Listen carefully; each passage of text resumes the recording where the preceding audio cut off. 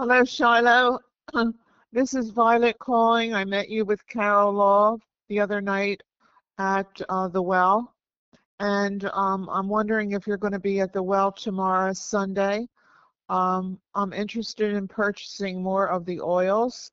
I put it on my back and I, my back felt so much better.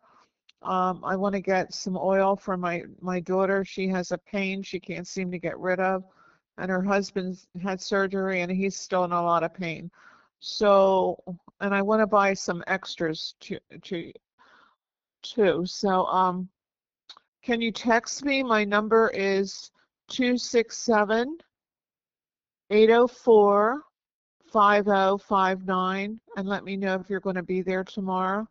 Uh, I would really appreciate it. I really enjoyed meeting you and um, I understand you were in um, Doylestown and you, um, it looked like it was a little bit of a turnaround, which is good news. But Carol said to tell you there's nothing happening up this way until September 12th, which I believe is a Friday night at uh, God Quest. Okay, I hope you get this message, Shiloh. God bless you. Bye for now.